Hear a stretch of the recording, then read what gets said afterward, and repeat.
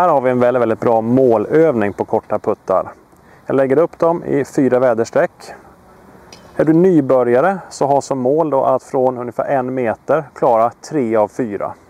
Börja på ganska plana puttar och vill göra det svårare så väljer du där det finns lite utförsbacke och sidolut.